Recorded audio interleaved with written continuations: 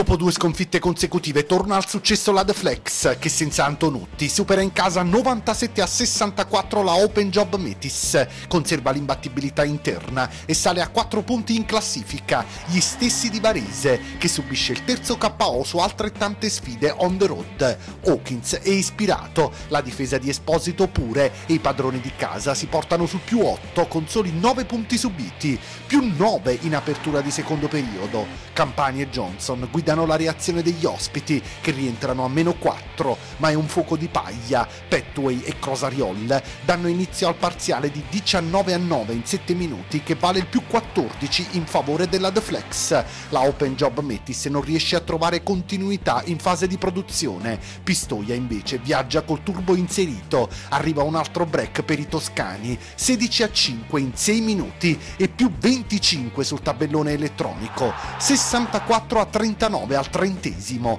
Nel quarto periodo la The Flex non si ferma, i lombardi crollano e piombano a meno 34 a poche battute dalla conclusione, 33 su 49 da 2 e più 11 al rimbalzo per Pistoia contro il 14 su 35 19 possessi ceduti degli avversari, Ventello con 8 su 10 dal campo per Cournot, 14 per Petway, 11 e 8 palloni catturati per Lombardi, 7 gli assist di Moore, dall'altro dall'altro lato 15 punti per Cavaliero.